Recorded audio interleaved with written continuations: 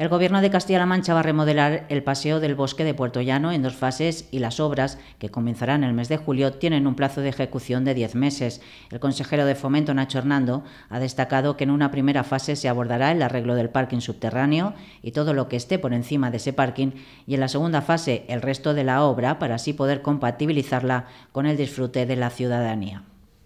De ahí que la visita de mañana, que van a mantener tanto la empresa como los servicios técnicos del ayuntamiento, lo que nos va a ayudar es a poder delimitar dónde está la frontera entre la primera y la segunda fase de la obra,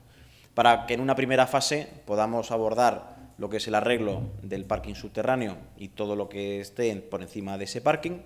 y que en una segunda fase podamos terminar el resto de la obra eh, para así poder eh, compatibilizar la obra con el disfrute de, la ciudadanía de este lugar eh, tan importante para todos nosotros. De ahí que esa ejecución estimada en 10 meses podamos abordarla en, en dos fases. Y además vamos a empezar ya muy pronto. De hecho, les puedo anunciar que a lo largo del mes de julio y tras la visita que se va a producir mañana de carácter técnico, se van a poder iniciar las obras de esa primera fase que les acabo de comentar. En este sentido, Hernando ha puesto en valor que esta obra toca la fibra sensible de una ciudad y de una comarca, ya que se trata de un punto de encuentro, de sitios que evocan memorias y sentimientos y de la identidad de mucha gente. Asimismo, el responsable de Fomento se ha felicitado de que una empresa castellano-manchega ha sido competitiva para ganar un concurso en el que ha habido muchas empresas interesadas en realizar esta obra y todo en un tiempo en el que hay incertidumbre en el sector de la construcción.